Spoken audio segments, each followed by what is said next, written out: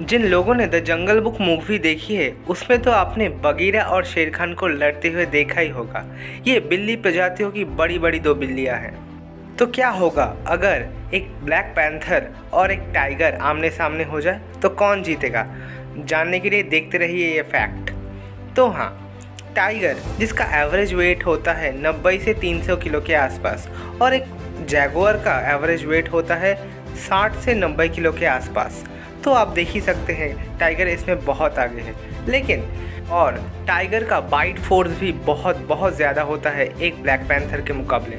लेकिन, अगर आप स्पीड और एजिलिटी देखिए तो जैगुआर का स्पीड होता है एवरेज 80 से 90 किलोमीटर। वहीं पे ही टाइगर का होता है 60 से पैंसठ। तो आप देख ही सकते हैं, अगर स्पीड में हो तो जैगुआर जीतेगा, और अगर पावर में तो टाइगर तो कैसा लगा फैक्ट लिखिए चैट सेक्शन में। And share subscribe and like thank you